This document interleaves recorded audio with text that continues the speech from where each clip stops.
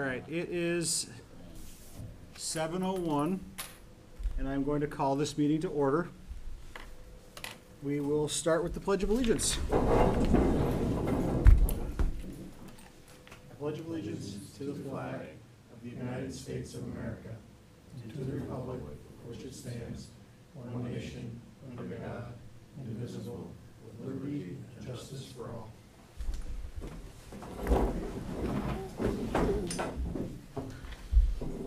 Thank you, everyone. So next we will move on to the approval of the agenda. Do I have a motion? Here we go. Len will, do I have a second? Second. Doug? Any uh, comments? Adrian? Hi, I wanted to add the ad hoc committee that you had up back onto the committee reports. Sure. Thanks.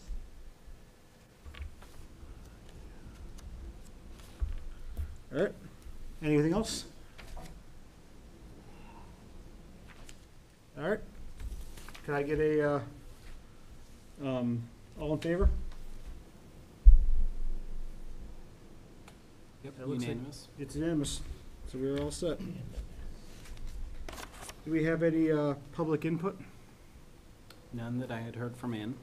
All right, no public input. So there'll be no discussion of the public input then.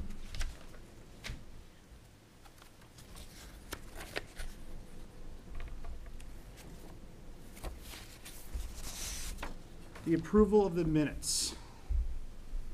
Uh, Can I get a, uh, a motion to approve? Sure. Len, can I get a second? Yeah, well, we got some else. And, uh, any comments or questions on the minutes? Any issues? All in favor? It looks unanimous to me. Uh, no student representative updates tonight. Okay. So we'll move on to principal updates. Who'd like to start? Here they are. I'll, I'll start. All right. Yeah? Um, I don't really know, should I sta- just stand here? So just make sure you're close enough to that. Stand in front of me. Yeah, you don't mind. Um, so over the summer, we've been getting Karen Stannard up to speed. Um, super excited to have her in the building. Yes. Introduce yourself. Oh, yes, my apologies. Sorry. Uh, Kaylin Thompson, principal at the high school, middle school. Um, yeah, so we've welcomed Karen. Her and I have been working almost every day together uh, on updating handbooks and things like that. Um, we sent home welcome packets a couple weeks ago. Um, we have an orientation for seventh grade coming up on Monday, and an orientation for students in ninth grade coming up on next Tuesday. Um, we have an open house on the 29th, and we're also doing sort of a getting ready for the road ahead for juniors and seniors on the 29th as well to introduce them to the guidance staff, myself, Karen, and just like map out what the year will look like. Um, also put in um, several stipend positions for department heads this year. I'm excited about that, along with some stipend positions for clubs and advisors to get student engagement a little more this year. Um, so I'm really looking forward to leveraging that student engagement and also getting that um, input from teachers. Um, so yeah, we're excited. Thank you.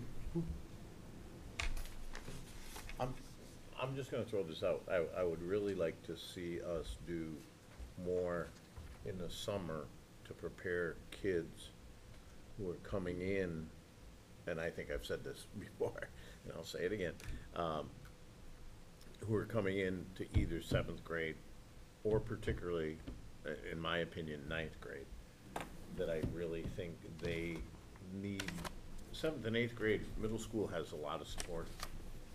And, and that move into ninth grade is a big step, because suddenly now you're getting credits and you may not pass and you don't get the credit and, you know.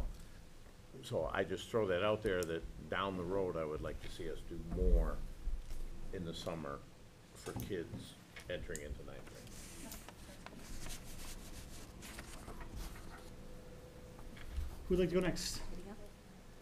Hi, everybody. I'm Kristen Simonetti.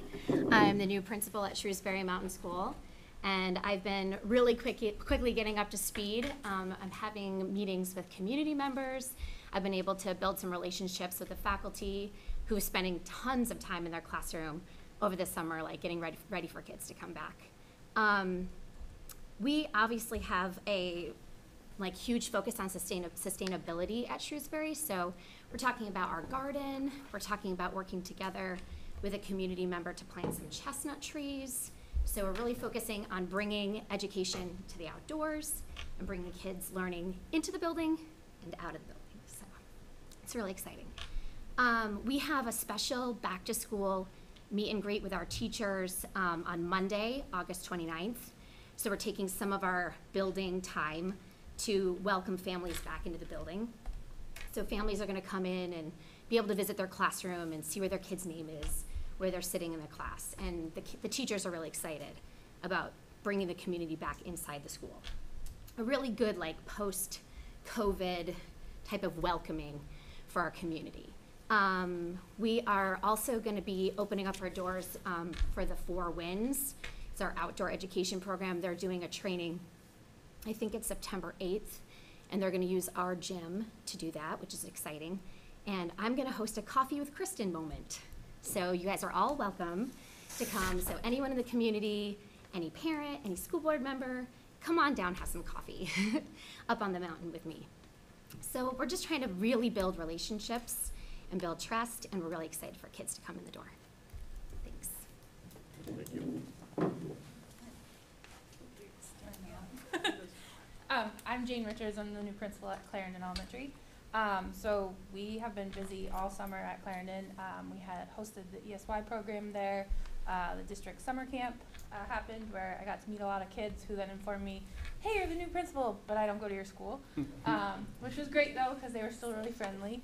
Um, our building has just been kind of all buzz as well, kind of cleaning around those, um, around those kiddos, and our custodians have been amazing in getting that done.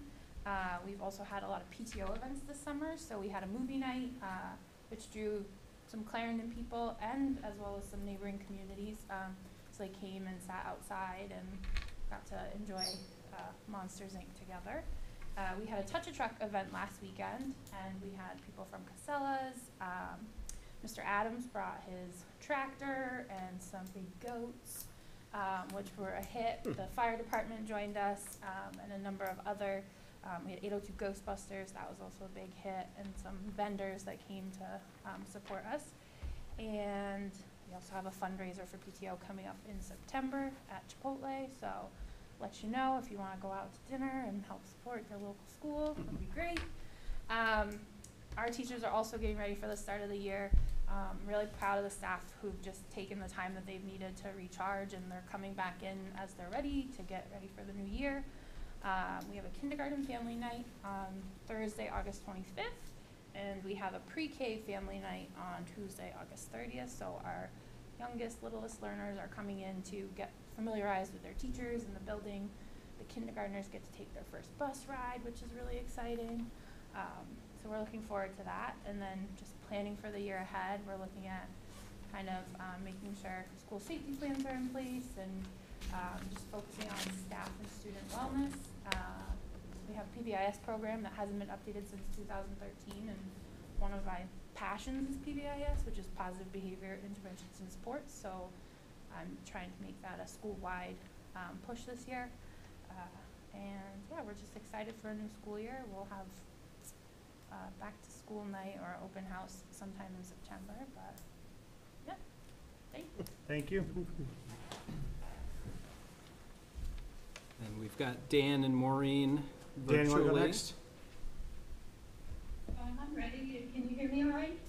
Sure. Okay, so we have over seventy kids returning in the fall, which is uh pretty good size for the building. It's gonna be, it's gonna be uh, pretty crowded. Uh, The building's been cleaned, the floors have been waxed, it looks really good. Jean did a great job, Jean Reinhardt. Um, Our new slide has been installed, the materials are ordered for the teachers, the schedules are distributed. The uh, welcome letter has been sent home. The uh, pollinator garden has been refurbished. The um, Weepo Playground is currently being refurbished, and we're expecting art kits the week of the 29th. Um, our meet and greet is going to be on Monday, the 29th. And the only thing we're waiting for is the, um, painting to be completed. It was started, they're touching up the painting on the, uh, trim on the front of the building. The internal, the painting inside, I believe, is finished. And we're positioned and ready to open up on the thirty-first.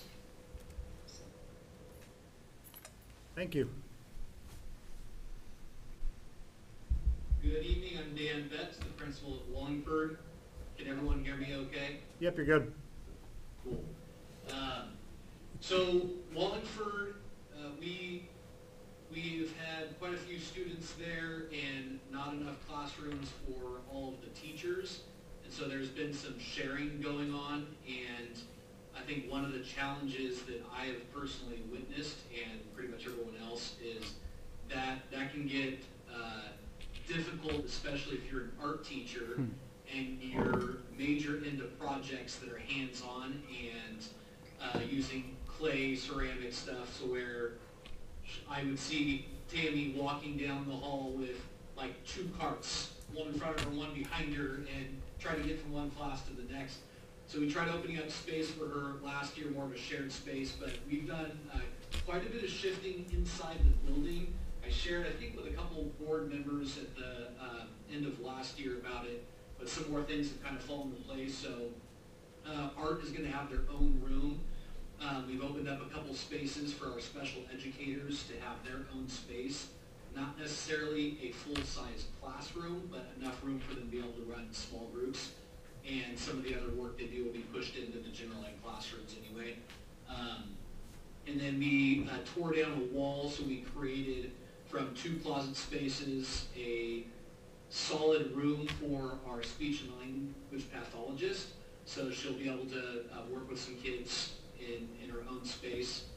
Um, and then we also have another room in the office that was kind of a staff room with the copier and mailboxes.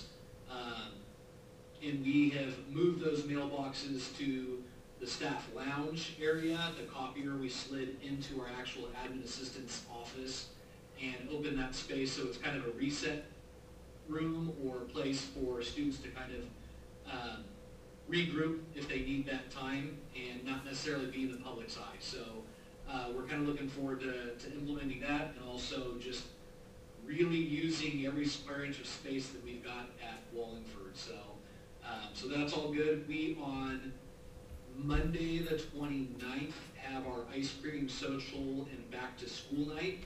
So at 5:30, we'll have the Hungry Cow coming out and serving ice creams for the students. And then uh, we partnered with Cheryl Manieri with ASB and our PTO um, to where we'll have some kind of individually wrapped ice creams that aren't quite as expensive for the rest of the adults because you know everyone's deserving of ice cream.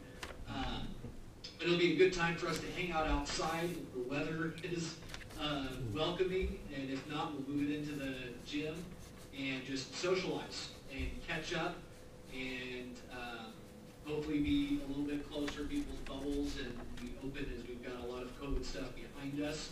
Um, and then we'll head off to the classrooms. Teachers will be doing a couple sessions, so families that have more than one kid can at least pump from one session to another and just kind of get the gist of what the year's looking like, what the curriculum they're going to have access to, um, and get to know their, their kids' teachers. So looking forward to that, and I know I brought it up in leadership today, but I'm al- already starting to see my email um, explode from the summer silence. So teachers, I can tell, are excited to get back, and some of them has blatantly said that in their messages. I've been sending calendar invites for certain map, uh, staff training and stuff like that. So it's good. I feel that everyone's refreshed, rejuvenated, and ready to go. And so we're really looking forward to this next school year that's going to be normal.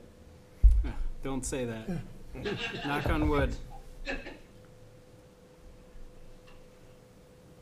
Yeah, I think it's safe to say our, our principals have been working all summer, pretty much. I mean, they get some vacation time here or there, but they've been working hard, and it's getting to be go time. Crunch Uh, The time. next few weeks are gonna be a lot of work, and I, I am proud of the leaders in our buildings and the work that they're doing this summer. We are proud of our schools, and we're excited for the year to start. Good.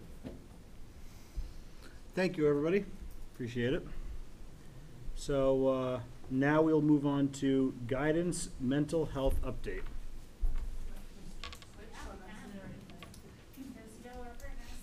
Yeah, so, Caitlin Thompson, Lower High School, Middle School. Um, so we have three goals this year for our guidance department. The first is to do a better job communicating with students, families, and the community. I think as I went through the, um, hiring process with parents, um, students, and board members and teachers, that was like the common thread of, of things we need to work on, so that's our first goal. Um, we, last year, we started a little bit by putting information out through advisories. Uh, one of our PLC goals this year is to really strengthen our advisories at the middle school and high school level.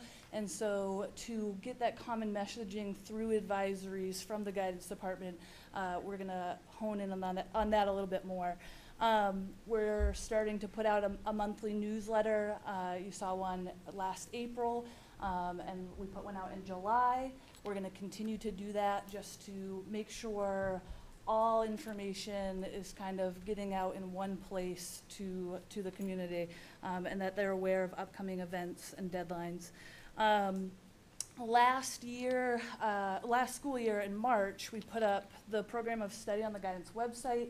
I also put that information out through advisories and asked advisory teachers to have their students look through it.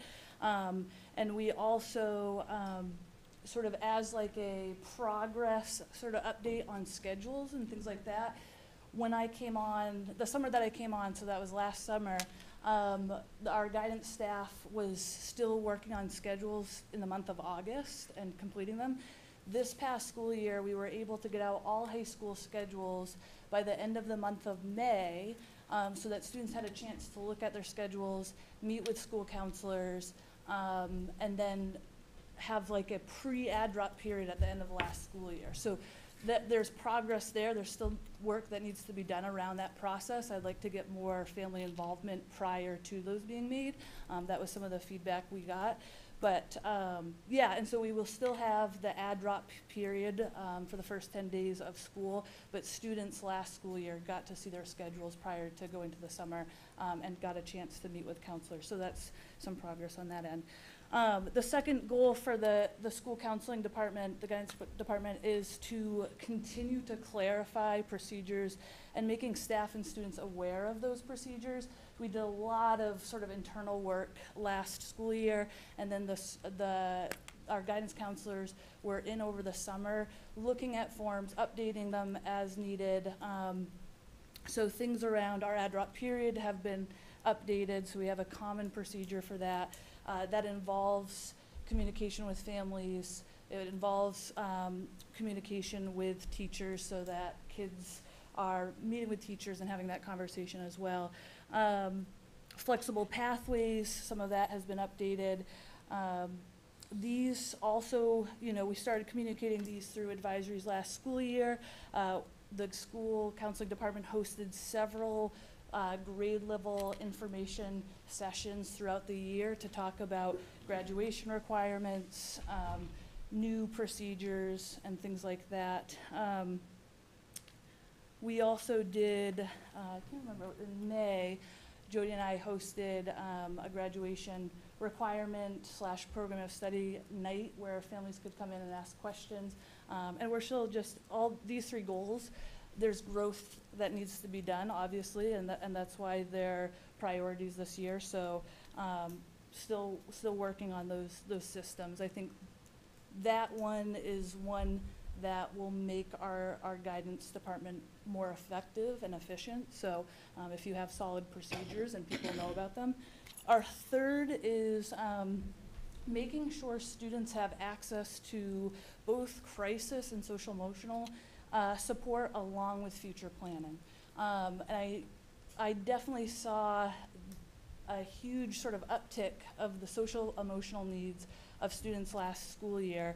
Um, but to to work on making sure we balance both and we support the needs of our students. Um, things we did last year that we'll continue to do, uh, we pre-scheduled meetings with seniors and juniors throughout the school year individually, but then also hosted workshops around topics like the Common App essay. So we did some workshops with both juniors and seniors around that during the school day, and resume building and things like that. Um, this year, to help continue that work, to support both SEL, uh, the SEL side of things and the future planning, um, we have moved Kevin St. Ange, um, who is a mental health counselor, from being special ed funded to general ed funded, um, and have placed him upstairs in the guidance wing. So last year, Cheryl and Dia were um, not only doing the future planning, but also sort of that day-to-day pop-up of social emotional needs. Now, those social need, uh, emotional needs that pop up throughout the school day will be directed to Kevin, while Cheryl and Dia will be focusing more on the academic and future planning piece. Um, I do, we, in the, the purpose of clarity and like trying to get roles and expectations, I did print out, um, and I'll give this to you and I can share it with the rest of the board. I didn't bring my laptop, but, um, we have, um, Cheryl and Dia's sort of lists of responsibilities, and, uh, obviously, one page doesn't cover all the things they do throughout the school day. Um, but just to give you some background information about things they do, um, throughout the school day.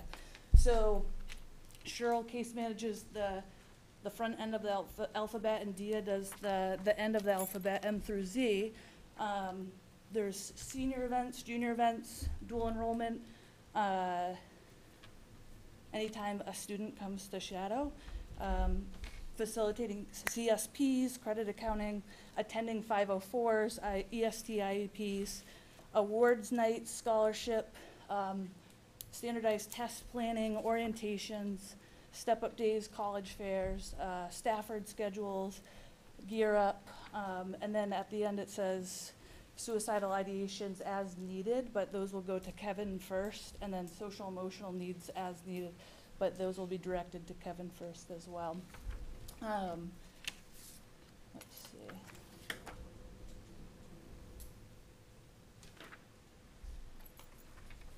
Yeah, so feel free to look over that if you have questions. Um, and then just on another end of things that we, we are putting into place this year to support uh, the future planning and the social emotional needs, we have a dean of students um, who's funded through ESSER. Um, and she is Stacy Fisk, who is uh, going to be supporting the day-to-day uh, implementation implementation of guidance um, procedures and things like that. She has a very strong background. She worked very closely with me last year on on, on um, making those procedures and systems work. Um, we have an academic intervention coordinator who's focusing on attendance.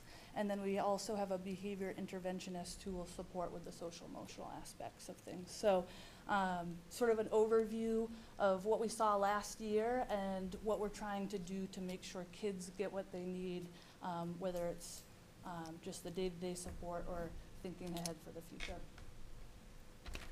Let me know if you have any questions. Yeah, Dumb question. Um, no questions at all. I know, I appreciate that. Does Cheryl and Dia, are they seven through twelve? They are seven through twelve, and it's interesting, um, so there are certain, like, parts of their, like, for example, scheduling. Yeah. For seven through twelve, because of the options and how it all works, it makes sense to just have one person sort of doing that, and that was me last year, it's Karen this year. So Karen, and I should shout out to, there were a few middle school t- uh, teachers, I see Kelly Stubbins is on, she was phenomenal, so I'm just gonna give her a shout out, if you can hear me, Kelly. Um, she was answering questions all summer about supporting, she met with elementary school teachers, uh, to get information about them, uh, coming up, and, and really did a huge heavy lifting on, on the pre-schedule, and then all schedule changes throughout the summer go through Karen. So that aspect of things is sort of off of Cheryl and Dia's plate. They focus primarily on the high school. Okay, Yeah. Yeah, thank you. Yeah. Does anyone have any questions? I think you can tell that the Mill River staff have been busy trying to clarify what next year's gonna look like. It's awesome. We're getting there. Work to be done, but we're, we're, we're making progress. Never-ending battle. I- uh, Is the board comfortable with excusing our principals at this point? Is that reasonable? By me. Enjoy your evening. Thank you. Yeah. You'll be back.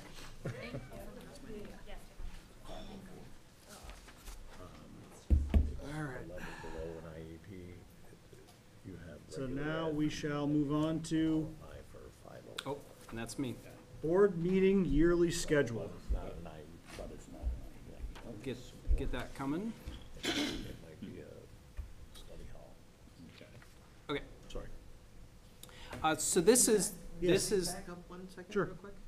Do we have a good way to measure our students' mental health in relation to? Great question. Others? Like, Like other say, schools other or- schools, other districts, other states? Oh, Yeah. I love it, cause we didn't, but we will. Yeah, and we've started. So we've always had the YRBS, the Youth, Youth Risk Behavioral Survey. Yep. Um, but what we were seeing last year was concerning. And so we talked about it, um, as a leadership team and we decided that we were going to give a social emotional survey to our kids three times last year. Very, very short. Um, I think like seven or eight questions, that was all it was, just yeah. to, just to do some check-ins. Um, and actually, the elementary one that we used were pulling questions from Panorama. And so, a lot of the questions that we're now thinking about using for the survey work that we're doing, including with Panorama, will continue to do that measurement. And, and the thing we get there is nationally normed data. So we can look and say, you know, student sense of belonging, that was one question we asked three times last year. Um, and our data didn't shift a lot throughout the year, um, interestingly. It was, it was a challenging year for a lot of reasons. But we just saw that data in it shifting or not.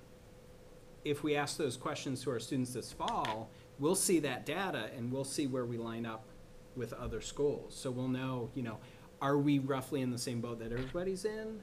Are we worse? Are we better? And I think that's good information for us to have. You know, a baseline is a baseline, but being able to compare, um, I think gives us better context. Um, And Yeah. Nick, I would just add, there's data, just, um, we've, we've talked about this a little bit before, but the amount of major crises, like, uh, suicidal ideation Mm. assessments Mhm. that our counseling staff had to do last year are about four hundred percent more, Mhm. um, than like comping the year before COVID. Mhm. Um, so there is data that things are worse than they used to be, um, but we're hoping that that was a place in time reaction to some really traumatic events. Yep. And, you know, regardless, we have so many plans in place to just be proactive. Great question. Uh, So annual board meeting schedule, this is something that I had been working on uh, with Andrea. Uh, Matt joined us one day and we sat down and as board chair and vice chair, we, we went over this together. Uh, They made some suggestions for tweaks uh, and I brought it to the leadership team, so we've looked at it, uh, all the principals, and we made some, some tweaks and some shifts. Uh, This started at, basically from policy, or looking at all our policies and seeing all the things that are required annually in policy.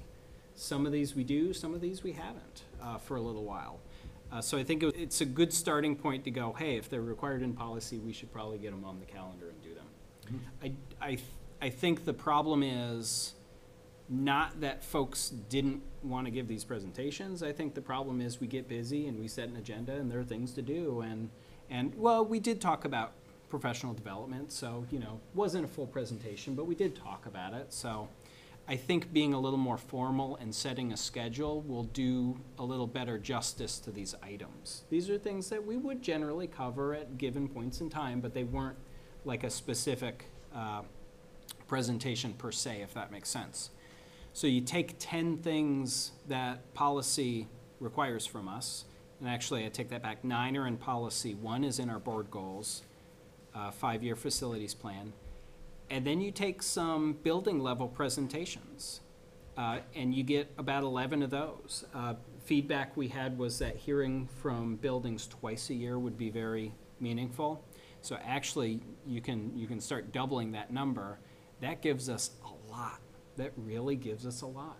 If we want to hear from each school twice about how things are going in their classrooms, and you want to hear from departments at the high school about how things are going for them, and you want to hear that twice, and then you work in sports four times at logical points for seasons starting and ending, and then you put in all our, all our uh, required in policy ones, we get a pretty full schedule for the year. I'm not bringing this to the board asking for action because I, I don't think it makes sense to set a schedule and approve the schedule and then good luck if anything ever changes. We gotta reapprove it, we gotta, I, think this is a great thing to use as a guide. And when we go to agenda build, we go, oh yeah, who were we gonna hear from next meeting? Okay, great. Oh, is there something else that popped up that we need to do too? Do we need to shift that a meeting? Uh, but that we at least have a starting point. Uh, And I feel pretty strongly that the expectation on administrators is going to be higher. Because, as I said in the past, you shouldn't just be hearing from me. You should be hearing from more people around data and how things are going in our schools. That's a shift in expectation. You heard wonderful things from principals today around how they're prepared for the start of the year. In the future, the bar is gonna be higher because they're, they're gonna be expected to come and work with their staff to show you how things are going in their K two group. And what's the data and the work that supports that? How are things going in three through six? What's the data and what's the work that supports that? Um, so I have to give them lead time on that. So, so part of my rationale for this too is if this is a starting point and we've mapped out the year, then they've got that lead time and they know when that work is coming to the board so they can be fully prepared. Um, Do we have a copy of that, Brian? uh, I did not. I meant to print copies and I absolutely No, no, forgot. no, that's okay. Yeah, I mean, sorry, if you Len. could just email it to us. I will send it to you. Thank you, sir. Uh, You know, what I would ask is if the board has any, any thoughts tonight, I think it's absolutely worth entertaining a conversation. Is this crazy? Does it make sense? Is there something that's jumping out at you really quickly that we've forgotten about? Um, I know you don't have a copy in front of you, sorry about that. But since this is not up for action or approval, this is something that we, we don't have to follow. So if you have feedback a week from now, you can get me that feedback. We can, we can revise as needed as we're going, if that makes sense. Um, There I- was a, and it came up, like, uh, a year, uh, last year sometime, Mhm. about, uh, risk.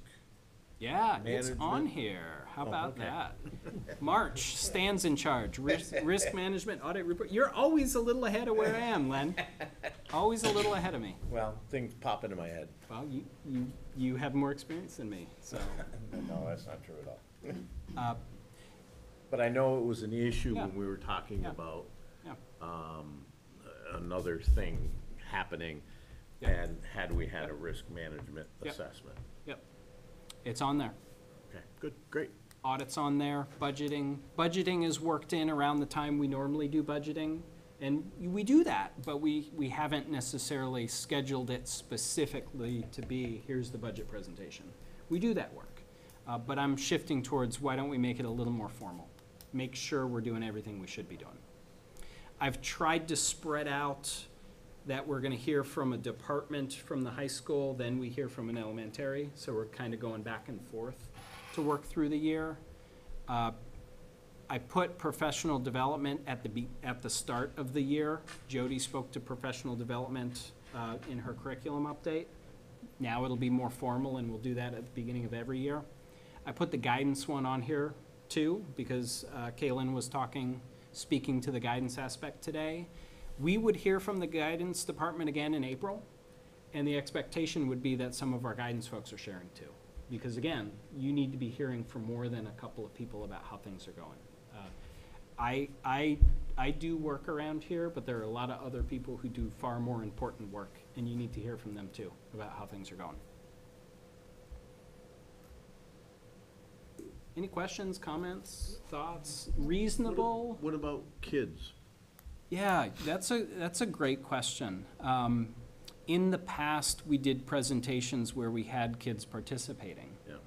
Uh, and we had a conversation today with our leadership team, and while, while we love our students, and that's why we're here, we want to be really careful that we're not just putting kids in front of the board and having them do fun things and Right. everybody feels good, but you're not seeing the work. Right. Um, I, we can revisit that. If that's something that's really important to have, we can revisit that.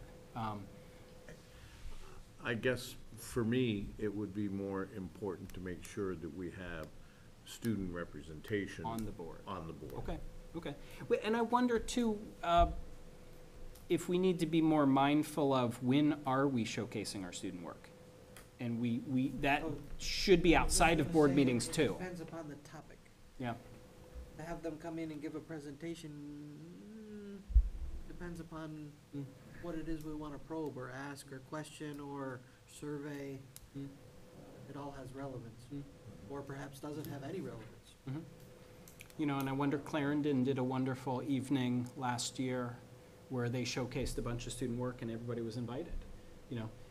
May, if we rely on board meetings as the place where students showcase their work, maybe that's too small. Maybe we should be doing more to showcase student work and invite the board to that, if that makes sense. I think I got a comment from somebody. Liz? Hand up. Yeah, I put my hand up, thanks, folks. Um, what I'm hoping for is, um, Kalen's, I think it was Kalen said, um, there would be a monthly newsletter. Mm-hmm, Um, but, you know, I'm hoping that all of the schools' Mm. newsletters will show or, or highlight for us Mm. the events that our students are doing that we can attend Mhm. to, to see their work. Because just as a parent, you know, I'm a little hesitant to say to, you know, our younger students, oh, we want you, um, you know, come visit with our board and showcase X, Y, Z. I, I'm hesitant to add anything to their plate, to their schedule, to their workload, especially in the evening. I just assume, you know, that we make more of an effort to show up at their scheduled events. Hmm. That's my thought process. Yeah, thanks I for agree. sharing. And I, uh, thank you for bringing that up, because that is a shift from what we've done in the past. Mhm. So it's worth, worth exploring. I think it's also, when we're looking at that, is, you know, we, it happened to work out that we could have a board meeting the Yeah. night before that that happened. Yes. But it's like, if, Not if always we, the case. if we can plan it out, and so, and that we're not intruding on you, like in Tinmouth, it's hard, you know, if Yeah. they're having something that's Yeah. in the gym, it's then hard to have yep, a board meeting at the same time, but it's like, if there is an event that can be scheduled in a cross-pollinating way, Mhm. then we should make an effort to do it that way. Mhm. And if we have the plan, you know, set out in stone beforehand, either because the teacher, or the principals, or somebody already knows this event is happening, you know, October thirtieth, does it work for us to have our board meeting in that? So I think the, the, the, the, the question that I would have for this schedule is, we're talking to Clarendon in November. Mhm. Do they have an event in November? Yeah, good If they question. do, can it be on the same night? If it can't, that's fine, but like, Mhm. make it make sense that we're going to a school. You know, just so that, because it is an opportunity. Mhm.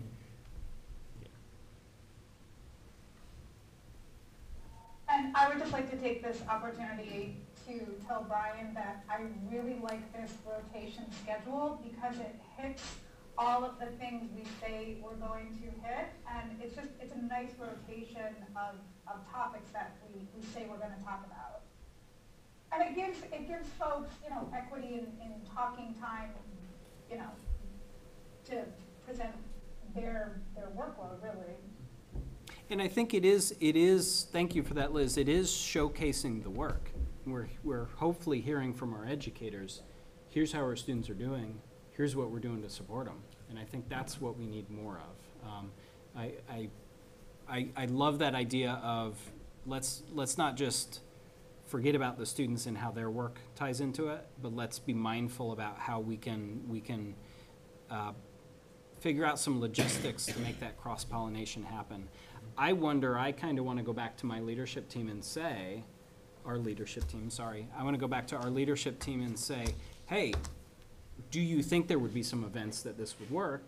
And then I come back to the board and say, hey, do you want to schedule some meetings at buildings? And we, we can kind of, we can add to this plan uh, in that way, if that's reasonable. Okay. Sounds good. I appreciate the feedback.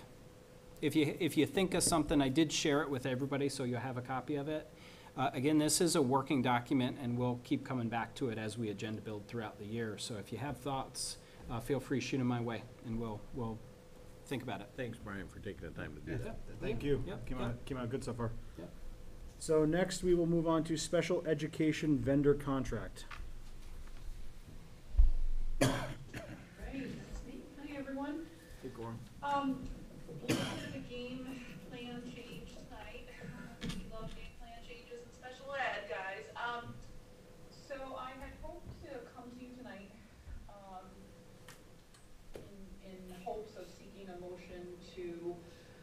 number one, select a remote services vendor to serve as an SLP, um, or speech language pathologist for the school year. Um, unfortunately, I cannot come to you to do that until such time that I have a definite price of what that is going to cost the district. Now, the thing with that price is, it is dependent on which state my candidate lives in. So for example, if I'm given an SLP from New York, it might cost us ninety dollars an hour. If I get one from California, it might cost us hundred five dollars an hour. The problem is right now, I don't have a candidate. Um, I did interview one last Friday. That person is not coming on board with us. Um, I have another interview with a different candidate this coming Friday. But again, the problem is I can't come to you with a motion until I can give you a price. So, um, what I can tell you is this. Um, when I do come to you for that motion, I will be asking you to approve, um, the same remote services provider that we approved last year, that was VocoVision. Um, it's just a matter of me needing to give you a figure of what's gonna cost you for the year. So, right now, I'm a little up. Um, so we're gonna have to, I think, table this until I can get something else. Um, and I don't know when that'll be, if it'll be the next meeting, um, fingers crossed, that's, that's what I'm hoping for. And, and an, an interesting place to be, if you saw the stuff I sent around to the board members and the leadership team, statewide, midsummer, there were openings for twenty-six point seven speech language pathologists in the state. Wow.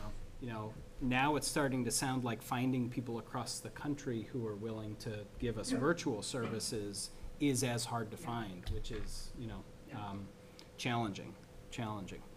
Hey, Coral, Yeah, is I'm, it, I, is it the same, Yeah, go ahead. is it the same problem with a virtual, uh, SP, SP, uh, as, uh, uh, in-service?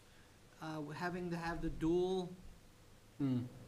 Yes, it, yes, yep, um, that's a good question. So, let's say I get someone from California. They have to be dual licensed to practice in Vermont. So I have to hurry up and get them through the hurdles of our own AOE so that I can make sure that, that they're allowed to practice here. So, yeah, it's, in, in, there's a lift there. in how many states, and it's okay if you don't know the answer, how many states require dual licensing? That I don't know, yeah. I'm just trying to I- figure out if Vermont's. Being difficult in this. Vermont is difficult from what I've. Yeah, Anecdotally, it's hard here, yeah. They are, Vermont is one of the most, uh, they have the highest hoops to jump through. I have definitely heard that repeatedly I from. wonder, I wonder if that's something that we as a board write to somebody and say, you realize that as nationally as a state, this is a position that's hard to fill. Yeah, you know, and it's funny, um, many of you remember, so my predecessor, um, Carol Leary, who had this job before me, was a licensed SLP. She had practiced for decades, literally, and, um, she was an excellent advocate for that fight. And that was back when she, that was back, you know, 2013, 14, when she had this position. Um, and I know at that time, when she was, was really having those conversations, um, she even struggled momentum with it, and, and here we sit, two thousand twenty-two, even, even in an even worse predicament, so, yeah, I don't know, Nick, I, So it sounds, it sounds like at a minimum, we need to pencil you in for five minutes of discussion for next meeting. yeah, yeah, and absolutely. that'll be after. Just in case, school, we'll- So, it'll And- be interesting timing, but. And, and maybe we should think about, Coral, if you could think about, um, putting together a letter Yeah. that, that we might, as a board, be willing to sign on to, to send to our legislators. I, I just throw Yeah, I that don't know out how there. we advocate for that, but there's gotta be Yeah. something. There's If gotta be an there's avenue to 20 take somewhere, If yeah. there's twenty-six, Yeah, it's not just us. Groups and, mm-hmm. but, you know, we can, we, yeah, I, I, you know, part of, part of the job that we have as leaders is to be advocates, and I'm happy to take on that charge. It wouldn't necessarily be something I get to, uh, tonight, but, Yeah. but, And I, um, I wonder, right, the numbers. what I, what I sent out was VSA. I wonder if VSBA is doing any work on, because somebody, somebody lobbied to have some things put in place, like being able to bring retired educators back. So I think VSA and VSBA are, are aware of this being an issue. I, I don't know how much they are aware of the SLP piece specifically, though. Yeah. Is, is it a, do, is it a policy, or is it, like, is it the Department of Education, or is it Yeah, a statute law? and statute, yep, Yeah, okay. yeah, it's in statute. Okay. Yep. And SLP is, uh, one of those positions that's not only educational, it's clinical. Yeah.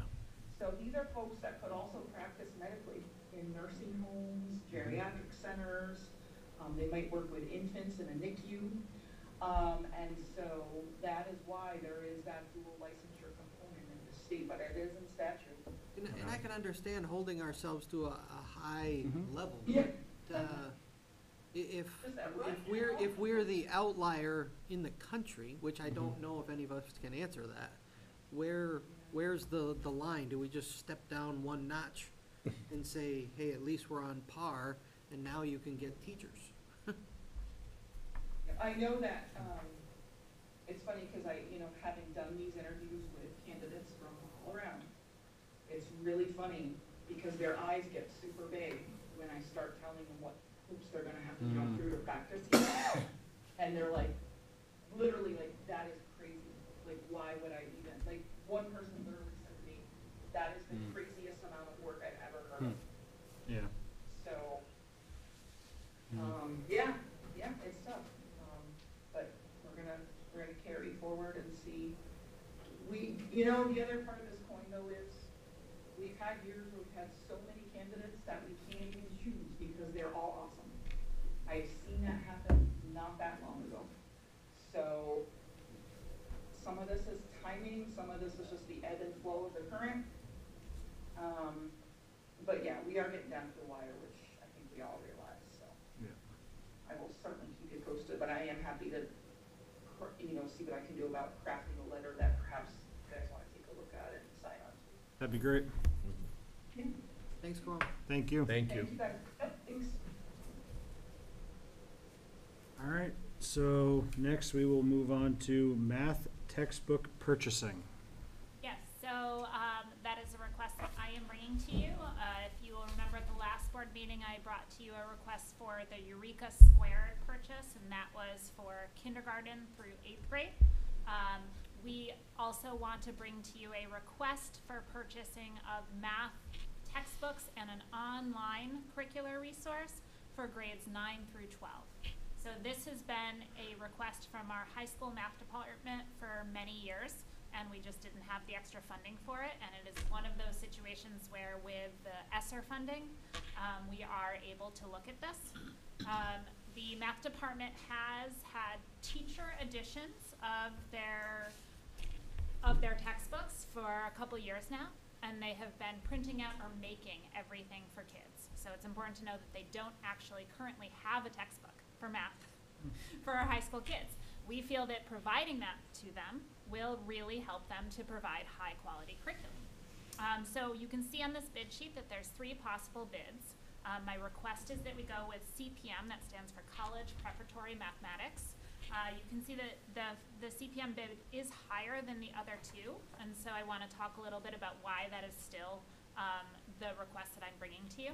Um, the first is College Preparatory Mathematics is the program that our high school has been using for many years, and we do feel that cohesion and continuation is important when the teachers still feel it is the best curriculum.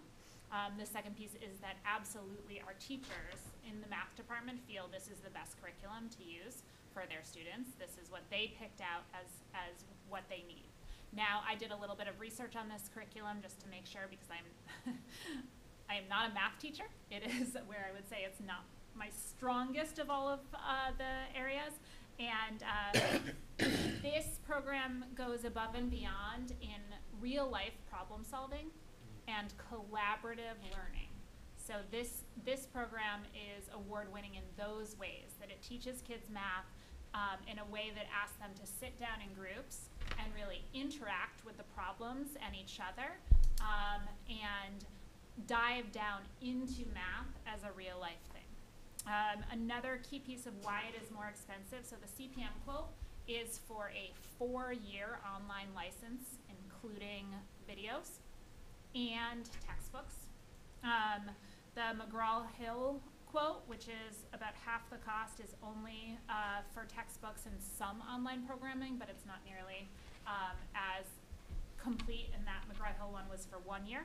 Um, the Savvas Learning one was for five years, but the Savvas Learning one does not provide the amount of tier two supports. That's like if a kid is not really understanding what's going on, the extra pieces.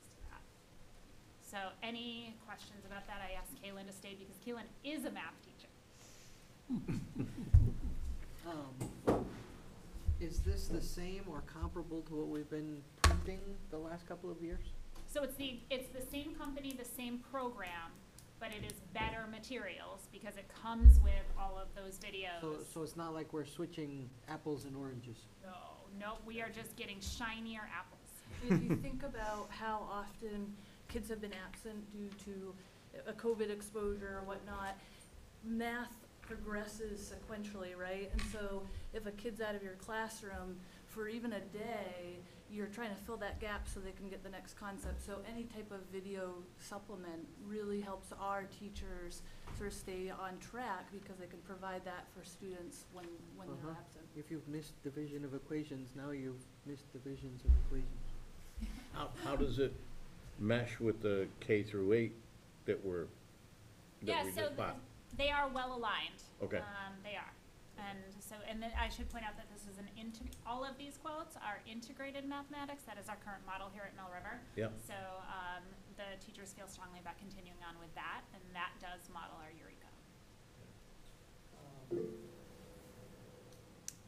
Liz? I was just gonna make the motion, but Nick, I think you had a comment? I was just gonna ask how much of this is ESSER funds versus not? This is all ESSER funding I'm requesting. And again, I want to point out that this is four years' worth. So I'm asking once, and I'm not going to come again within four years. And I think Adrian also Adrian? has. Oh, um, I, I know you're saying that we're, we're supporting again integrated math. I remember, um, hearing that there was a strong discussion as to whether or not we were gonna continue with integrated math, and if we buy these textbooks, we're all in. Integrated math doesn't work for a lot of kids, and I'm curious as to why our teachers are all in when I've been hearing conversations with, on the board and, and in other, um, situations, that integrated math is not what most people are teaching anymore. Yes. Because it leaves kids behind. I mean, how is this different and why are we going all in on this?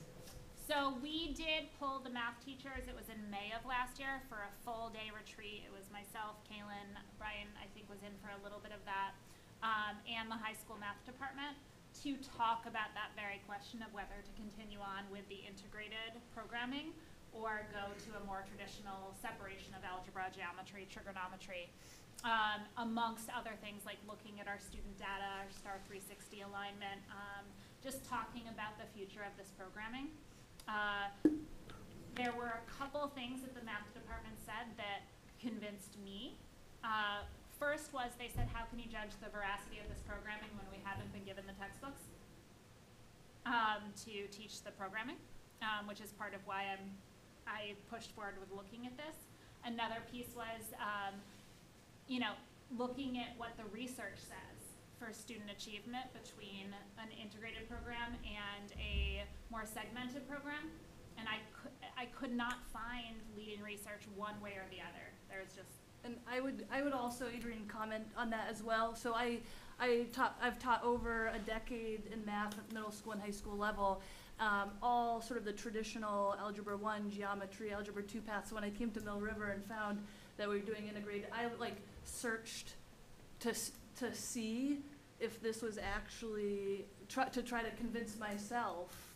And I, just as Jody said, I couldn't find, uh, research that really, uh, weighed one way or the other. It really talked about the, the curriculum that is provided and the teachers that are, are providing that curriculum. Um, so I have one more question.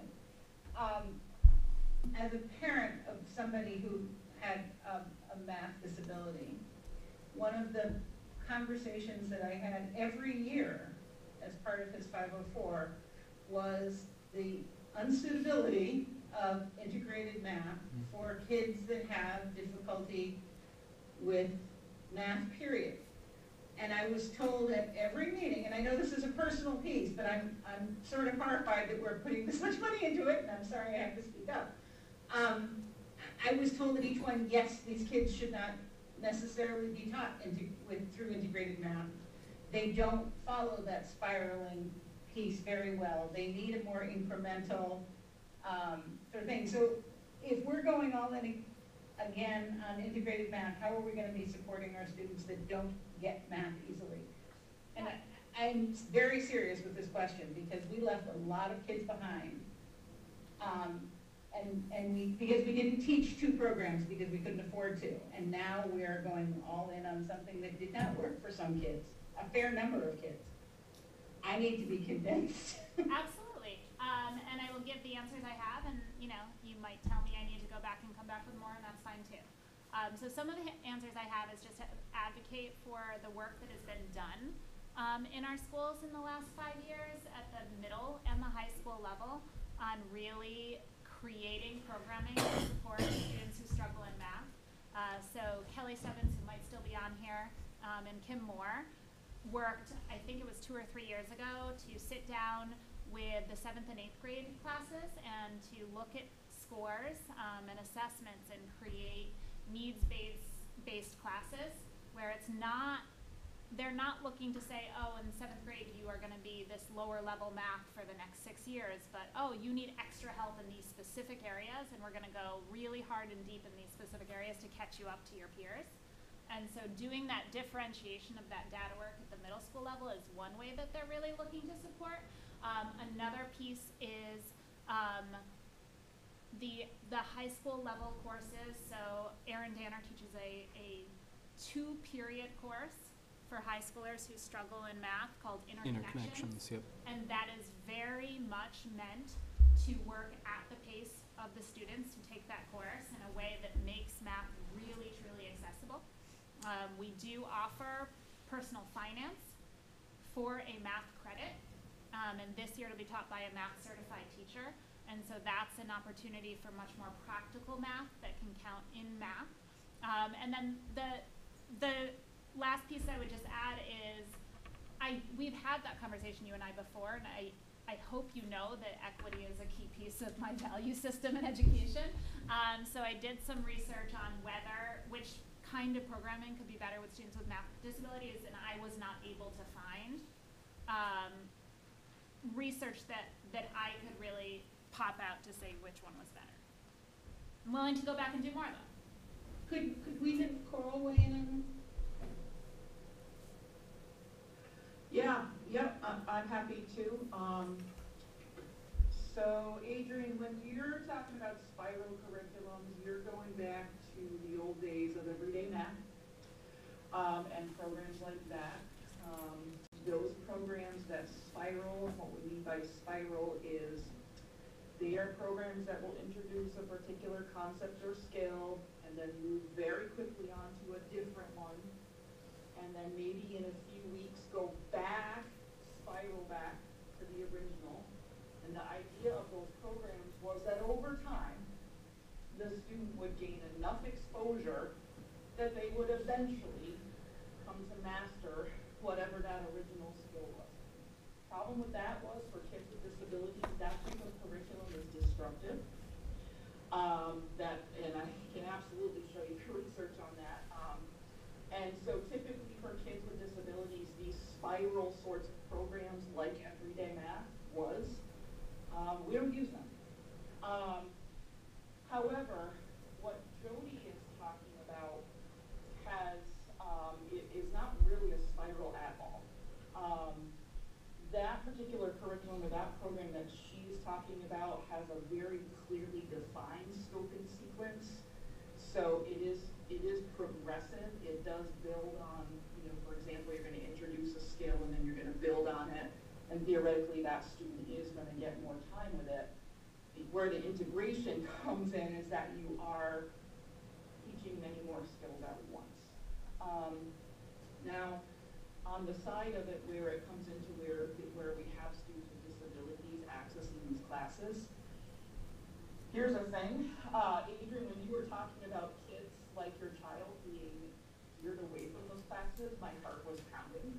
Um, for one, because it is so inappropriate, um, that is like the most inappropriate thing I've heard in a long, it, it just is. Um, however, what should be happening with classes like, um, like the ones that you and Jody are discussing is heavy, hardcore modifications and accommodations for those kids.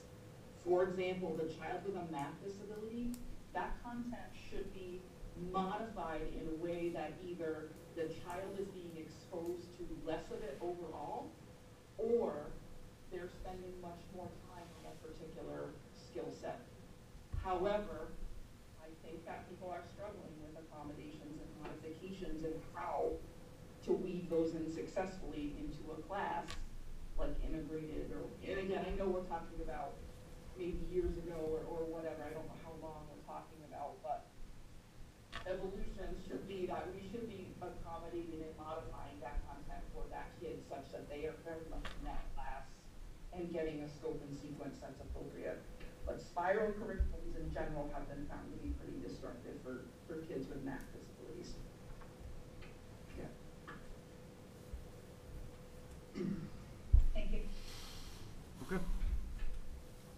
Do And, have any, and I'll say, I appreciate the discussion. If we don't, if we don't have the dialogue and we don't bring things up, uh, just because we want to do things quickly and get out of here, then we're not doing our due diligence. So thank you for bringing that up, Adrian. horn going off over there? Where's the boat?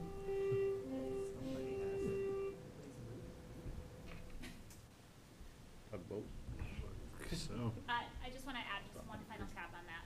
Um, the math teacher I consider vocal advocate for students who struggle in math believes so passionately in this program. Um, that, you know, I, I consider myself a curriculum specialist. I consider myself humble enough to know that I am not the expert in all the things. She is somebody I would consider an expert in this. okay, thank you. So, um, does anyone wanna make a motion? Sure, I will. Um, Liz? Uh, Is Len gonna make it? Cause I can make it. You can second it. Okay. So Len, go ahead. I'll make a motion. Oh, I gotta. I would make a motion that we accept the bid from CPM forty-one thousand nine hundred and ninety-seven dollars and twenty cents. Want me to write that down or hand you my page? So moved. Do I have a second? I'll second that. All in favor? Or, s- sorry, is there any, any discussion first? All right, all in favor? All opposed? So, looks like the uh, yeas have it. I think you have to actually you hold do a- people if you Okay, have, all right, have fun. all right, so, that's so all. roll, so we'll do a roll call. Doug? Aye. Josh? Aye. I'm a nay. Aye. Len? Aye. Okay, Nick? Aye. Liz? Aye. Bruce? You're on mute, Bruce. Bruce, you yay or nay? Okay. Adrian? Um, I don't think I have ever said no to a curriculum question before, but I'm a nay. Sorry. Hey, Bruce? Are you yay or nay? You're on mute. Because I have a loud dog. Yes. Okay, thank you. So the yeas have it. So next, we will move on to uh, committee reports and personnel. It's you, Lynn. We did not have a personnel committee meeting tonight, but we do have some contracts for you. And Brian, keep me on track if I I will. I'll try. go off track. Um, I'd like to make a motion for, um, a teacher contract for Zach Allen, uh, as a teacher K twelve, phys ed, and health education one oh FTE. And I make that a motion. And I'll second that. Discussion. Former student comes with glowing recommendations in the community. Good. What, where, can I ask where, Uh, high school, oh, okay. Yep. we had a last minute shift. Okay. Any other discussion? All those in favor, aye. Opposed, nay. Abstain, thank you. Second one. Uh, this is for support staff contract for Joshua Bowen. Um, educational support staff, 1.0 full-time equivalency, and I would make that a motion. And I will second that. Thank you, Liz. Discussion? Another former student, actually. That's, that's Yes. been a trend a I couple know, of they- meetings they now. Yep. Keep coming Yep. back. I don't- Something weird about that, but anyway. Uh, All those in favor? Aye? Aye. Opposed? Abstain. Thank you very much. Next one.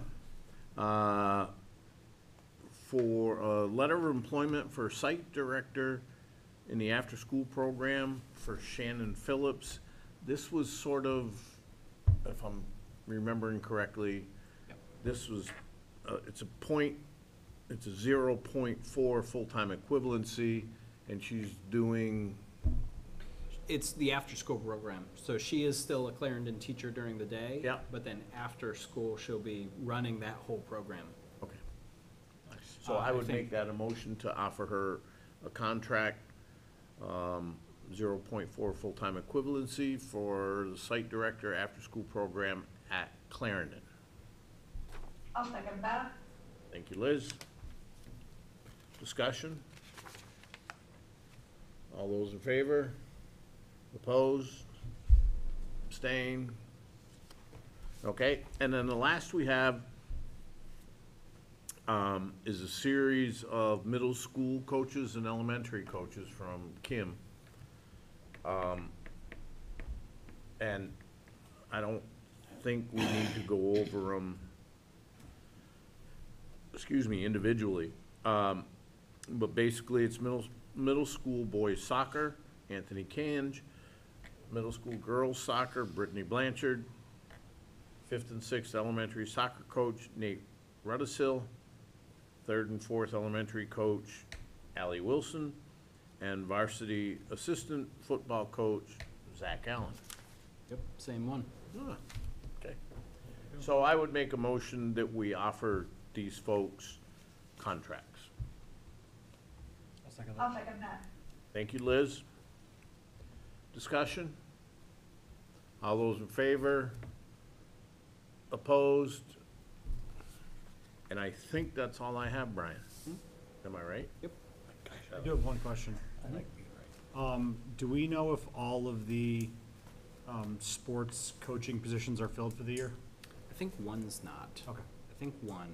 I don't think it's more than that. Okay. It could be. All right, I'm just curious. It, it would be nice Yeah. to have Kim come in and talk to us. I know she does it every year. Yep. Um, You're on but schedule in for the fall, September. just to give us numbers and, and Yeah, tentatively, uh, I'll, I'll let you know if we're missing anybody. She's coming, uh, second September meeting, so maybe not the next, but the one after. that's fine. Perfect. Okay, thank you. Yep. All right. She all I was have. gonna, she was gonna bring Brittany, the elementary, uh, AD, AD, so we can hear about that too. great. That's everything? That's all I got. Next, we will move on to policy. Oh, is there a personnel schedule meeting? Oh, I'm Yeah, sorry. sorry. Yep. Thank you. Um, it will be September seventh? First Wednesday in September, I think it's the seventh. Mm-hmm. Mhm. September seventh yep. at six P M. Okay. Thank you. Josh. All right, so next would be policy. I know, um, Andrea's not here. I don't know if she gave a report to anybody or anything. I'm not on that committee, so I don't know. Yeah. Okay. We met, but we met Yep. and we reviewed the F, really, we reviewed at the pol, F three policy. Yep. And really, the, it was really our first m- policy, me, real policy meeting Mm-hmm. that we've had. And so just starting looking at F three brought up the conversation of how we were gonna go through the policies moving forward. Okay. Um, and basically, we, the policy, particularly this F three one, was very convoluted. And we had a very simple, straightforward policy, uh, through the, I'm not. School bu- remember the- VSBA. Yeah. And that, we're going to try as, as closely as we can to align our policies, if they have a policy, to be as close to that as possible, so we don't have these very complicated policy things. Yeah. Adrian? Oh, I, I had written to An- Andrea before, I guess before the last meeting for, for policy, that the, um, VSBA is, was working a lot this summer and will have a bunch of policies coming out in September, October. They weren't completely sure of their timeline. But, um, but they were aware and, and were, um, welcoming of us sending the policies that we are prioritizing and telling us whether it's ones that they're working on if we send them a list. So that we don't spin our wheels and invent something that they're gonna come out with Yeah. something Yeah. in a couple months. Because part of it is that F four and F eight, for our policies, they don't talk, it, I couldn't find anything that talked about it in, in any of their documents, so.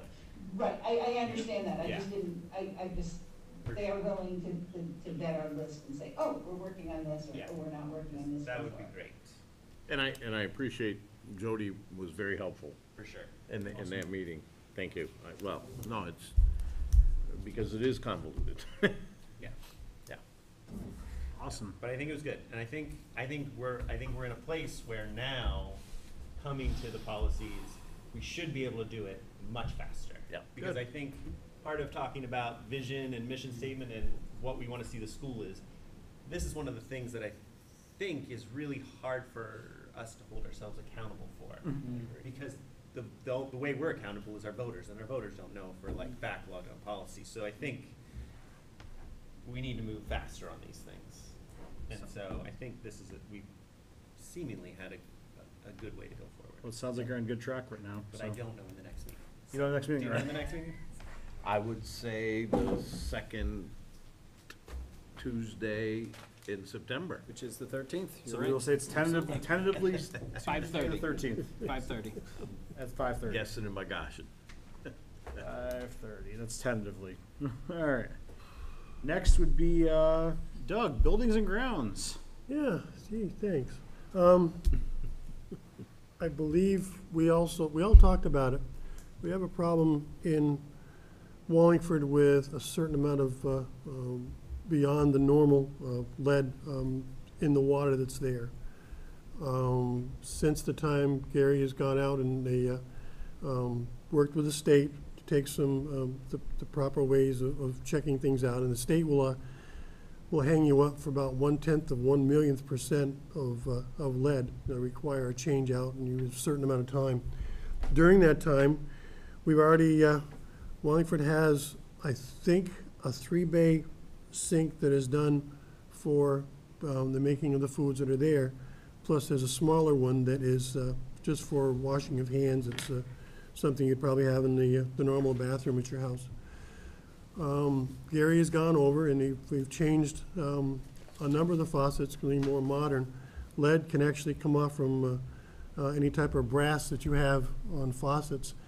The advantage of uh, knowing how to take care of that is that we can actually, uh, we can make a difference there. And the new faucets are coming through are required by, I think by state law, and I used to know the number, but that you're not allowed to have any type of lead in anything that is made. Um, We now have to purchase uh, different types of, uh, of piping that has to be done that doesn't put through the lead. We have to, the equipment we have to do, the valves, the, uh, um, the circulators, anything that can actually put um, lead into either the kitchen sink or into the, uh, the shower and the bathroom, the tub and stuff.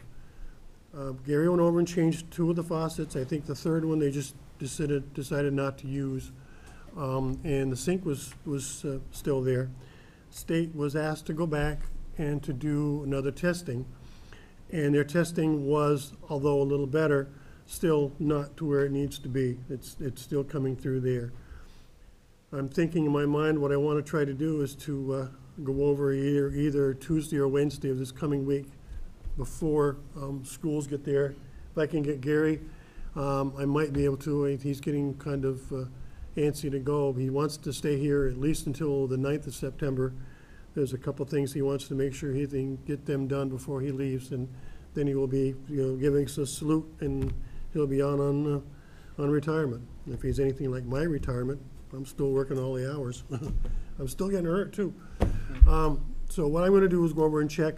I wanna look to see that if they change these number of things and there's still a problem, it's likely it's coming from the piping that's in the building.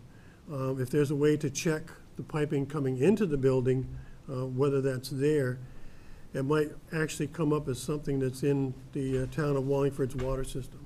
Um, I, I did a number of years ago, I was in charge of that for about uh, three months, and we made some changes, but for the most part, it was just repairing what was there.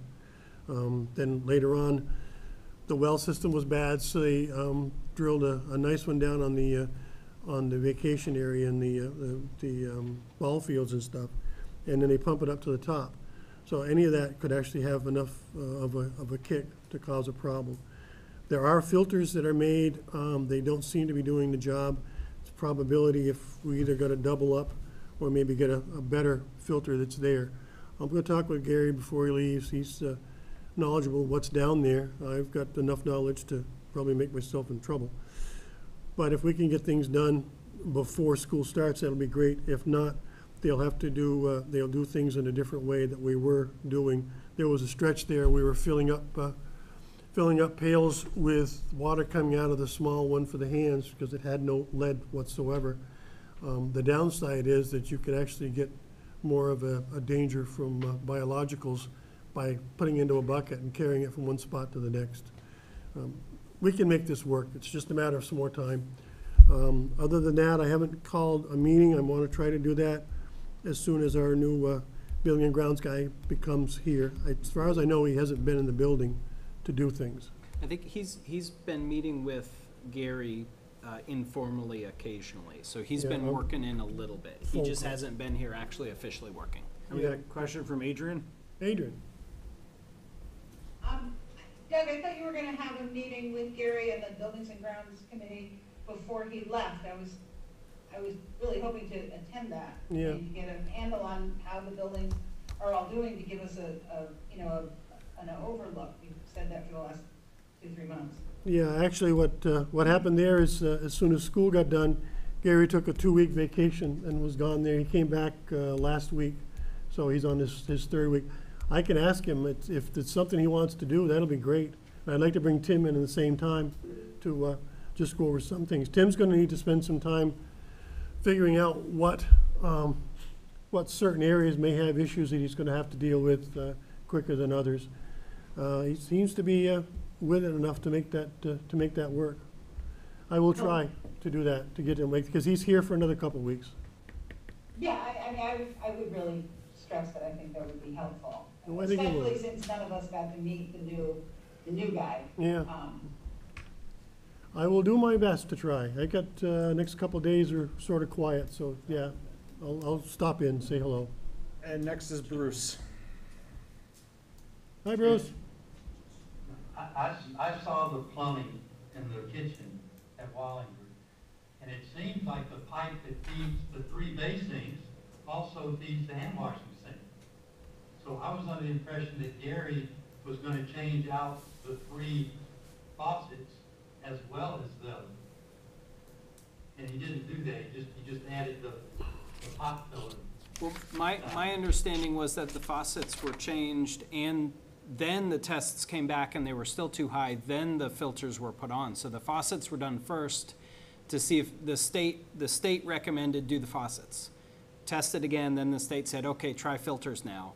Test it again, we still didn't meet, so the state said, okay, you know, you've done everything you can, you know, uh, short of ripping up the concrete in the floor and repiping, the state, and, which is something that the state did not tell us to do. Uh, The, everything that Gary has done has been working with the state and cleared by the state. So uh, my understanding is that, that we have reached a resolution that the state is comfortable with, if that makes sense. Now, we're, we're building in grounds to be willing to commit, you know, twenty thousand dollars to repipe those sinks. We could absolutely explore that, but I think that would, that would definitely be something that would be our choice to do and not something that anybody's telling us we have to do at this point in time. Uh, if there is, if there is a official somewhere who, who thinks that what we're doing is not in compliance, uh, Gary's more than willing to have a conversation with them, but we have not interacted with those officials. Uh, that has not come to us, uh, through anybody we've been working with, with the state. So, so Gary told us that he did all that testing several years ago, not that he did it last year. No, this has been a, Several years ago. this has been a process that's been and then he told ongoing. us- And he also told us he thought it had been solved. But obviously it hadn't, if women were carrying the, the water from the lounge It's, to the kitchen. it's been, as far as the state is concerned, we've done what we need to do to be in compliance. Uh, If there was a miscommunication about what that actually meant, you know, that, that's absolutely possible.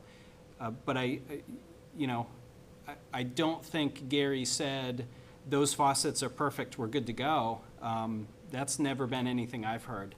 If he said, yes, we've figured out a solution for Wallingford, you know, that, that's reasonable, but I, I can see how that's a general statement that could be, uh, you could understand that to mean we, those faucets are usable. Uh, But we've replaced the faucets, testing came back high. We added the filters, testing came back high. So working with the state on recommendations, uh, we found an alternative way to get water. Uh, Gary did work on the closer sink to make sure that one was usable. Uh, My understanding was that actually there was a further, a further faucet that was being used until Gary had done some work on the, the other sink to make it usable for large pots. Does that, does that make sense, Bruce? It does, but it doesn't, because I talked to the health inspector, and he's been concerned for two years. Well, he can, Somebody needs to reach out to Bob Manfredi and say, what do we need to do? And, and we are absolutely more than willing to work with any, any officials on things we need to do to be in compliance, but uh, I, I guess I'm surprised that the health inspector hasn't told us we need to do that to be in compliance. Um, who is, who is Bob Manfredi in terms of the wastewater division, I'm sorry, or potable water division? He's a, he's a food service inspector, because he inspects my restaurants, that's the only reason I know the name. Okay, I mean, I think, um, in all, in all, you know, reality, Gary has been working with the state wastewater people, wastewater and potable water people up at, um, A and R. And probably not as much with the food service persons. There might be communication issues between all of the different departments. Well, my, and my understanding too was that Gary met with uh, George Carone, who is, who is our, you know, regional person we work with with food service. And our food service folks were, were uh, understanding what had been done and what needed to be done, and that we were, yes, it's not an ideal world because using those faucets would be great, uh, but that we had a solution that was workable and, and again, not out of compliance with any regulations. Um, And again, if, if Buildings and Grounds wants to look at priorities for buildings uh, with next year's funding and make a commitment to uh, pull up the concrete and replace those pipes, that's absolutely something we can explore. I think that's a large cost that, uh, with, without that committee getting involved and prioritizing that work, you know, that's not something Gary can just go do next week and, you know, I, I think that's something that needs to be a bigger conversation. Yeah, we can, uh, I'll give you a chance to see if I can get hold of Gary tomorrow or the day after and, uh, take a look and see what's, uh, what's going on. I've, I've had a few, uh, few times working with lead, but it's more often just around a, a school system that, uh, in the, uh, in the city, in the Rutland, city of Rutland. If, uh, if anything's around, uh, Woodstock Avenue, that stuff is around two hundred years old, and most of the drops to the houses are made of lead. Um, The advantage of uh, doing that is you have to keep the water running um, for a while before you take any use of it. That, uh, when- Because water, once it sits, will actually pull the lead away from certain things. If you run it for a while, it'll uh, get a little bit less. It may not, may not be completely clean, but it it won't be as, uh, as dangerous. Okay. I will work with him next couple days. Thank you. Next, Can I just Sure, ask one more absolutely, question? no Sorry. problem. Yeah, no problem. That's it. Not s- the last time we heard Mhm. about the remodeling job Mm. was when we were in Tinmouth, Oh, and it yeah, was yeah, like, yeah, yeah. are there even Yep. going to be doors? Yep. Um, Yep. Yep. And so we don't have to talk about it right now. Yep. But like, just like Yep. a, where are we at? Yep. Maybe for next meeting Yep. or something. Like I have not heard that there are any concerns at this point. Um, I'll ask Gary specifically. Yeah, we'll, we'll- we'll, we'll bring it up again during agenda building and get it on the next meeting, maybe. Yep, Awesome. absolutely. Yep. Good, sounds good. Uh, thank you. Um, next would be community engagement. We haven't met. Okay. That's all I got. All right. And is there another meeting scheduled or anything? Okay. Next, we'll move on to, uh, finance. Good evening, everybody. Um, I will start with payroll this evening. Dated August twelfth, we have regular payroll in the amount of one hundred and sixteen thousand, seven hundred and eighty-five dollars and sixty-eight cents. Dated August twelfth. We have another payroll warrant in the amount of fifty-six thousand, four hundred and twenty-six dollars and twenty-nine cents. And dated August sixteenth, we have regular payroll in the amount of seven thousand fifty-one dollars and eighty-five cents for a grand total of one hundred and eighty thousand, two hundred and sixty-three dollars and eighty-two cents. And for pay orders, we have from the general fund from the fiscal year 22 budget, a pay warrant in the amount of $2,359.60. And from the fiscal year 23 budget, we have a pay warrant from the general fund in the amount of $82,816.91 from our after-school program, we have a pay warrant in the amount of one hundred and also from the general fund, a pay warrant in the amount of four thousand five hundred and thirty-two dollars and ninety-nine cents. Um, all of the pay warrants combined total eighty-nine thousand eight hundred and ninety-five dollars and forty-five cents. And I move that we accept and approve these pay orders and this payroll as presented. Second. Okay, Paul, was that you? Yes. It was. Okay, thank you, Paul. Any discussion? Hearing none, and I can't see, so Brian, since you're there, I'll ask that you just kind of Mhm. eyeball everything. Can do. So all in, all in favor of approving and accepting the pay warrants and the pay roll as presented, That please is- raise your hand and or say That aye. is unanimous, Liz. Okay, thank you, everyone. Thank you. Uh, the next meeting of the finance committee is Monday, August twenty-second at five P M. Thank you. Thank you, Liz. All right, next, um, Adrian had asked to put on ad hoc. So, um, I don't know if you had anything in particular you wanted to bring up. Um, I will say that I have not made an attempt to schedule a meeting in quite some time. Um, I did schedule some meetings early on, which were attended by Len. I think it was only attended by Len. Um, we never seemed to be able to grab a quorum, so we never really accomplished much, except for having some discussions. Um, if anybody would like to try to get it kickstarted again, I'm all ears, but it didn't really draw a whole lot of people in the beginning, so. I got tired of showing up at six o'clock and just chatting with Len, so. Well, thanks a lot. No, I, I can chat with you anytime, but it doesn't have to be at the school at six o'clock at night, so. I would like a wider discussion of this. I mean, we, we seem pretty committed to, to doing this, to, to, to working on an art installation, to bringing the kids in, to bringing the, the teachers in, to, to making this a district-wide, um, effort. I'm sorry that people didn't show up. Um, that brings up, I guess, the point of nobody showed up for, our- or a lot of people didn't show up for our strategic planning meeting today at six o'clock either, and I, I guess I'm feeling sort of grumpy tonight, but I really wish that we could commit ourselves to doing what we said we were going to do. And we, I we, will volunteer for your committee, Matt. we had some of that conversation earlier before the strategic planning meeting started, you know, I think, I think we're, many of us are feeling similarly. Yeah, I, I wonder, are there any pieces of that that we could just bring to the full board? Well, I mean, I, I was planning on during, um, agenda building, Mhm. putting on the next board meeting to talk about board attendance. Oh, Um, I okay. mean, I, I just, I think it's a discussion we should all have. I mean, we, we join the board, it's, you know, there is an, you know, an obligation to the taxpayers and the voters to, uh, um, try to accomplish as much as we can to better the district and better the school.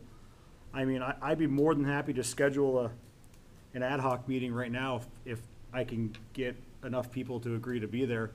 I'll show up. If we widened it to, to, to teachers and students, maybe after school started, Yeah. I think we could get, we could get a really good working commitment. I, I mean, i- i- if. With our teachers, with, you know, think it could work. And, and if, if it's anything that Jody's interested in jumping on, you know, with her equity background, I think that it would be beneficial to this board to try to get as many heads together, so. Well, and I, and I wonder, because there were two pieces. There was, community had asked about an inclusion statement. Yep. And I know Clarendon Town has adopted one. Yep. Uh, You know, I wonder if the full board took up the inclusion piece. That statement might be easy to do as a full board and take care of and not do extra meetings. Then I wonder if the other piece, the project piece, makes sense to try and coordinate with Jody and Kalen and, and have the schools own more of that project than the board, if that makes sense. I think it's a phenomenal idea. I really do. Every once in a while, I have an okay idea. I get You lucky do sometimes. enough, and that's why you're in this position. Yeah. so. No, Well, um, and I, and I think, if I, if I can jump in, I, I think, you know, where we sort of ground to a halt was we weren't getting a whole lot of input Mm. from the other schools. Okay. Um, and so I think, you know, the, the, the, uh, inclusion statement is, is one piece. But I really think when we were chatting, yeah, Um, they, they were fun though, It just- I did enjoy them. But it was all about, it, it needed to be a district-wide, hmm. um, plan. Mm-hmm. So that we would hmm. get something from the elementary schools and mm-hmm. something from the high school. Mm-hmm. Um, that, that would include, it, that would be inclusive. Um, sorry. Yeah, no, I mean, we, we even, ta- we even went as far in the discussion as talking about putting some kind of a, you know, display cabinet Yeah. in each of the s- schools where students could create projects to show, to try to make everyone feel welcome and included and, you know, we had, we had great intentions, we really did. Yeah. But it, it, it didn't go much further than, uh, He and I. the two of us. And, and, no, um, Ann came to a couple of the meetings. Yes, yep. Ann, Ann did attend the first few meetings, which was, which was beneficial, but that's as far as it went. I don't know I- if it's helpful for the committee members to know, uh, but I had a meeting with Kaylin and, um, the GSA, um, staff facilitator. Mhm. Um, that's the Gay Straight Alliance students. Um, they want a project for the year that is appropriate. Mhm. Um, and wanted to pre-think that before the year started, and one of the things that they talked about doing is maybe, um, finding a bulletin board in the school and doing a different history month for historically marginalized groups like Asian Pacific Islanders, Black history, Latinx history, women's history, um, so that there were content and educational pieces to representation for every single month this year, and that would be student-run.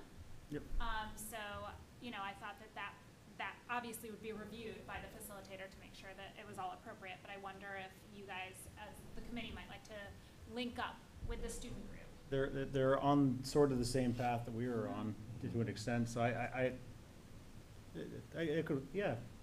I mean, Why don't, why don't we, why don't we set something up for October? Let, let the kids, and, and Jody, I'll take your input, obviously, you know.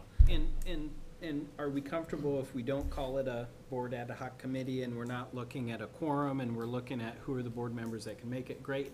But then we have administration join in the group and, and Fine with that. we're, we're owning a little more of that project. we 'cause just I- have, we just have to make sure we don't have enough board members Yeah, attend that there's a sure, quorum, but, sure.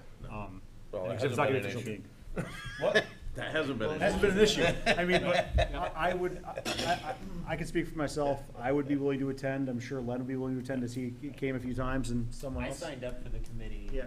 when I joined, Yeah. and then we just didn't have any meetings. Yeah. I would've showed, I Yeah. went the And if too many people show up, I'm sure somebody would volunteer to go. Yeah, but, I'm but, sure. so right now, there's three of us talking. I mean, I don't know if you'd be willing to attend or So- not, so. Oh, for sure. Okay, 100%. so Jody, why don't, it's lined up for October. well, I'm just trying to think, um, October, what about before the second meeting in October? I'm just throwing this out. For scheduling a meeting, Yeah, I'm not going anywhere. and end of September, beginning of October, sometime around there before the second meeting in October? Well, uh, no, I would say the hour, the six o'clock hour, Oh, but, so like, like Before before. a board meeting. yeah. Okay, the second meeting in Alternating from October. personnel, So Yeah, yeah, because personnel. but not warranted as a special meeting because we No. aren't intending for it to be a it, quorum of it the board. is, it is a student Yep. meeting that some board members are going to attend. Oh, so you'd like the, you'd like the GSA students to attend, if possible? Yeah, that Is might be hard at six o'clock. Look, we, we, I, c- I could do earlier, I could do, I could do two o'clock, I mean, I don't know about you, I, I work with myself. Or I can bring, I can offer them attendance, but I can bring all of their information to you. That's fine too. Yeah. Yeah, if they wanna do some stuff up for us, we can go over, yeah, okay. And if, you know, if there, and there, if there is, because I can also do basically any time, I just need to be warned ahead of time. So we want to shoot for six on October nineteenth, thank you. October what, nineteenth or something? At six At o'clock. six? Is that okay? Yeah. And no warning for that meeting, that's, uh, Right, coordinate, yeah, okay. okay. uh, So we don't have to warn it, but can we get oh. some kind of announcement Oh, a out to reminder? the board members? Yes. Jody, can you manage that? Happily do that. Do you have to, di- I don't know how this part works. Do you have to dissolve the ad hoc committee? Because if we were all Probably. at a meeting and we're on the ad hoc committee, then that would be a quorum Yeah. for that meeting. Yes, we would have to You- get you're rid right. of that. Yeah, good point. And Len, you had said a couple meetings back that your ad hoc committee was over. Yes, So we did because that of in the public survey board that- meeting, that's so yeah, being I done. think, So I will make a motion to dissolve the ad hoc equity committee and turn it over to the, what's, So we'll call- Inclusive, um, art display committee. yes. Can we call it like Not an equity. administrative committee, similar to the equity committee? Yes, So all right. an administrative committee on, um, inclusive, Inclusivity. okay, great. There we go. was a word. Uh, Can I get a second? Second. Any discussion? I'll send y'all an email a week before, okay? Perfect. All in favor? Adrian, does that answer what you want?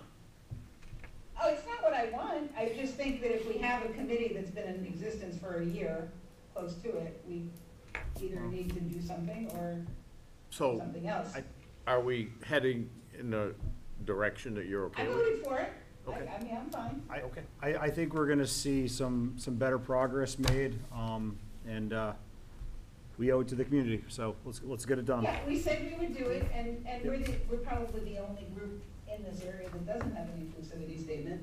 Um, I think it doesn't look good, so I think it's No. progress. We'll fix it, so. Yep, I think it's good. All right, so now we're on to transact other legal business. Anything? Okay, so we will move on to agenda building. Now, I did want to put something on the agenda for, uh, um, board member attendance. got it? Also, Josh had brought up the, an update on the Buildings and grounds. buildings, the old Yep, district building. Foundations. Yeah, foundations building. Does anyone else? SLP, five minutes for Coral, just in case we have a contract. Perfect. Is Kim, Kim coming? She'll be the next meeting. Okay. Uh, I have it on the calendar that we would go over the budget materials, uh, the calendar with the full board.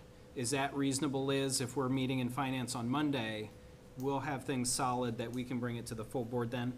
Because technically, uh, per policy, we're supposed to present a calendar, so. Okay.